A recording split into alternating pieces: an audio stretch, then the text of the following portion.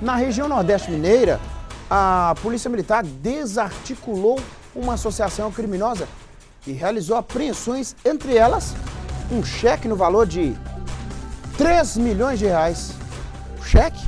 O caso aconteceu na cidade de Rubim. Fantoni Pes está chegando. Fantoni, desarticulou a quadrilha, ok. Mas me chama a atenção, um cheque de 3 milhões? É, Nicomedes, eu também. Eu olhei várias vezes, estava até conferindo aqui, né?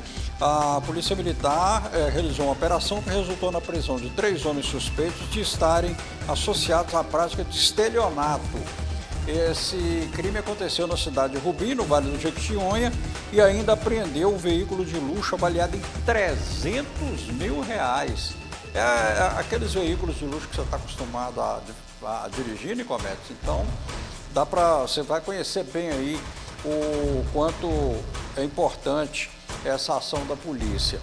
A operação iniciou com a denúncia de que o trio tentava depositar um suposto cheque falso de 3 milhões de reais na agência do Banco do Brasil de Rubim.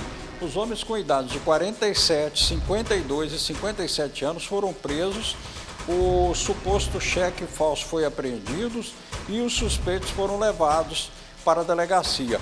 Os policiais militares suspeitaram que o veículo apreendido eh, se trata de um veículo roubado no estado de Pernambuco. Os suspeitos foram presos por associação criminosa, estelionato e responderão ainda por adulteração de veículo. O trio foi encaminhado à delegacia de Almenara. Aí, Nicomedes, é aquela situação que você conta, você faz questão de realçar. As pessoas acham que vão chegar numa cidade de pequeno porte, como a cidade de Rubim, vão apresentar um cheque de 3 milhões de reais porque estão num veículo esportivo de luxo, de alto valor, vão se apresentar, achar que são pessoas que estão acima de qualquer suspeita e vai ficar por isso mesmo. Ledo engano, né, Comedes? Ledo engano.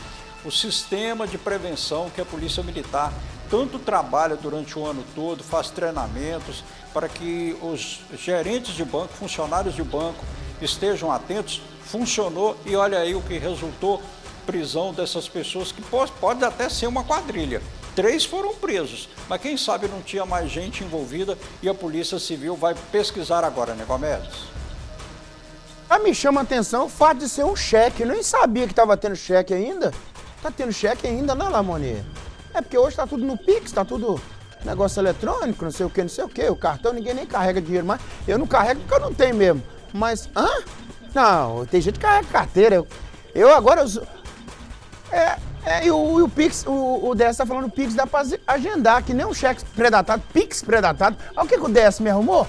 Pix predatado. Aí também é duro também, né? Será que cai esse Pix? É. O Pix predatado. Ô, Fantônio, vou mandar um Pix predatado pra você aí, tá? Mas no dia não vai ter saldo na minha conta, não, se Deus quiser. Não, o chefe, ó, ô Nicomedes, o Pix que você envia para mim, eu desconto ele até no Banco do Jardim. Aí sim, Fantoni fez cheque de 3 milhões. Não, vamos lá naquela cidade lá, lá em Minas Gerais. Ô Fantoni, você sabe, eu morei fora, morei fora, fora do nosso estado. Você sabe que tem umas pessoas, não vou falar de qual estado não, mas tem algumas pessoas de outros estados que acham que aqui em Mineiro só tem bobo, sabia? É, Nicomedes, mas acontece o seguinte, aí vem justamente a necessidade e a eficácia desse treinamento que a Polícia Militar faz durante todo o ano, justamente com o sistema financeiro, não somente aquele do ataque a banco, porque às vezes o ataque é tão sutil tão é, ardiloso, tão bem planejado, igual esse. Uma ordem de pagamento, existem alguns, alguns dispositivos ainda que ainda são utilizados, mas é just, são justamente nesses detalhes que o, o, funcionário da instituição financeira ele interage com a polícia para que haja uma pronta resposta. E foi o que aconteceu. E aí o, o, os militares lá do 44º Batalhão conseguiram, justamente na cidade de Rubim, des é, é, é, desarticular a ação dessas pessoas. Dispersar a turma, né? Colocar a ordem aqui não tem bobo em Minas, não. Vai nessa que nós somos bobos. É. Obrigado, Fantônio.